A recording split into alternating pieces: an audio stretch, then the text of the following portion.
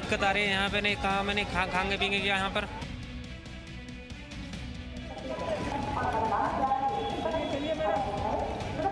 बिहार जा रहे हैं का, काम धंधा बंद हो गया तो क्या करेंगे?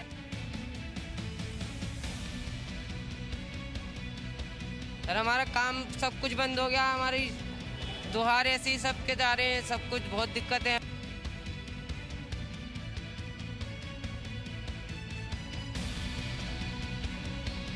कोई साधन नहीं, फिर साइकिल से चला जाऊँगा।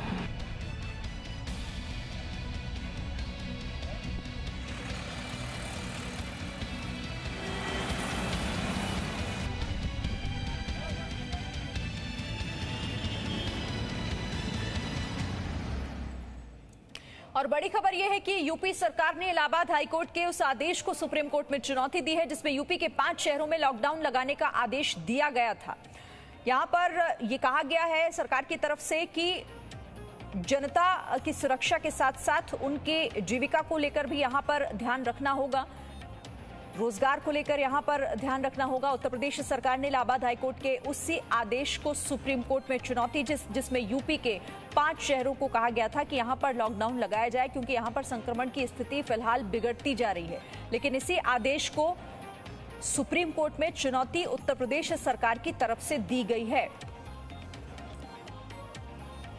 बड़ी खबर इस वक्त की, यूपी सरकार ने इलाहाबाद हाईकोर्ट में चुनौती दी है। इलाहाबाद हाईकोर्ट के फैसले को सुप्रीम कोर्ट में चुनौती दी है, जिसमें इलाहाबाद हाईकोर्ट की तरफ़ से पाँच शहरों के, का ज़िक्र किया गया था और कहा गया था कि इन पाँच शहरों में चूँकि स्थिति बिगड़ रही है कोरोना संक्रमण की तो यहाँ पर लॉकडाउन लगाया जाए, लेकिन लॉकडाउन लगाने से साफ़ इनकार कर दिया गया उत्तर प्रदेश की तरफ़ से और कहा यह गया कि लॉकडाउन समाधान नहीं है।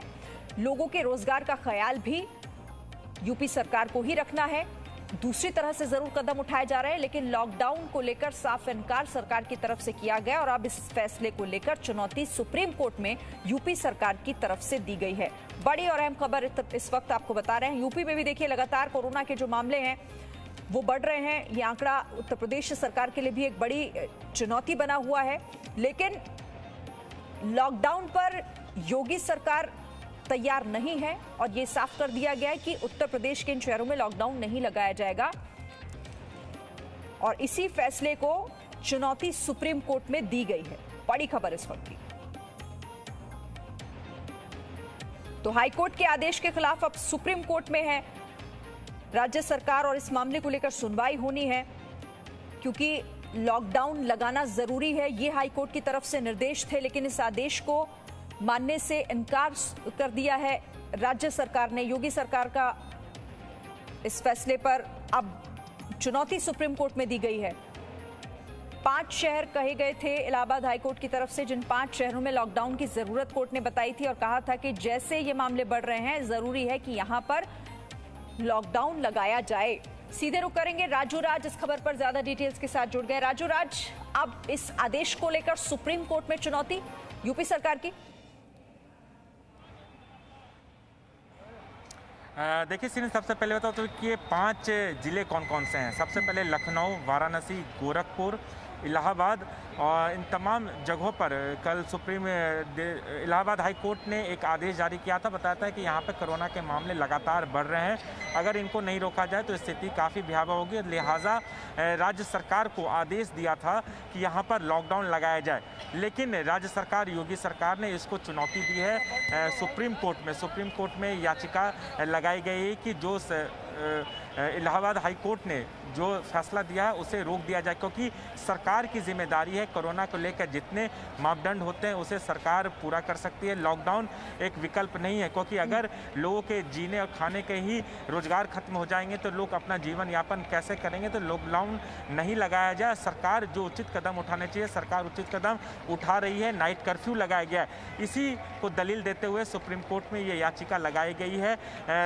उत्तर प्रदेश सरकार की तरफ़ तरफ़ से सॉलिसिटर जनरल तुषार मेहता पेश होंगे और चीफ जस्टिस ऑफ़ इंडिया के बेंच में ये याचिका लगाई गई और आज हो सकता है दोपहर दो बजे के बाद, तीन बजे के बाद इस पूरे मामले में सुनवाई हो। देखना होगा सुप्रीम कोर्ट क्या आदेश देता है, क्योंकि जिस तरीके से कोरोना के मामले लगातार बढ़ रहे हैं, चाहे वो दिल्ली हो, उत्तर प्रदेश हो या पूरे देश में बढ़ रहे हो, चूँकि उत्तर प्रदेश में पाँच जिलों का ज़िक्र किया गया है, जहाँ पर कोरोना के मामले बढ़ते रहे और लोगों की सुविधाओं को देखते हुए और इस संक्रमण को इस चैन को रोकने के लिए इलाहाबाद हाई कोर्ट ने यह आदेश दिया गया था, लेकिन इस आदेश को सुप्रीम कोर्ट में चुनौती दी गई है और आज इस पूरे मामले में सुनवाई होगी। सरकार ने अपनी ओर से दलील दिया है कि लॉकडाउन लगाने के बाद लोगों के रोज़गार छिन जाएँगे, लोगों की यह समस्या आएगी। राज्य सरकार है, इनके लिए जो उचित कदम हो रहे हैं वो उठा रही है। नाइट कर्फ्यू भी लगाया गया ताकि सख्ती से पालन हो, लेकिन लॉकडाउन लगाना कोई सोल्यूशन नहीं है। लोगों के रोज़गार और काम उनके हाथ से छिन जाएँगे। यही दलील देते हुए सुप्रीम कोर्ट में याचिका लगाई लगाई गई है। इस मामले में आज सुनवाई होनी है। दोपहर के बाद इस पूरे मामले में सुनवाई होगी। देखना होगा कि सुप्रीम कोर्ट इस पूरे मामले को किस तरीके से देखती है। कोरोना के इस चेन को कैसे तोड़ा जाए, ये आदेश भी एक नज़ीर साबित होगा कि जिस तरीके से कई दूसरे राज्य जहाँ लॉकडाउन लगाए जा रहे हैं, वहाँ भी इस फैसले का असर पड़ सकता है। लेकिन जिस तरीके से उत्तर प्रदेश सरकार ने इस याचिका को चुनौती दी है सुप्रीम कोर्ट में, ये काफ़ी महत्वपूर्ण है। बिल्कुल राजू राजा, और जिस तरह से इलाहाबाद हाईकोर्ट ने इस पर टिप्पणी की थी और तमाम जो स्थितियाँ थी उन्हें रखकर कहा गया था कि ये वो पाँच शहर हैं जहाँ पर स्थिति नहीं संभल रही और इसीलिए लॉकडाउन ही यहाँ पर यहाँ पर एकमात्र ऐसा रास्ता है जो कंट्रोल कर सकता है।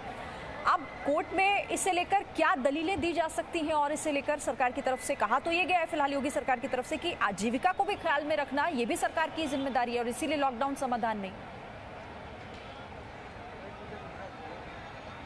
देखिए, निश्चित तौर पर राज्य सरकार ने अपनी तरफ़ के से अपनी पूरी दलीलें रखी है क्योंकि जीविका एक महत्वपूर्ण साधन है रोज, लोगों का रोज़गार।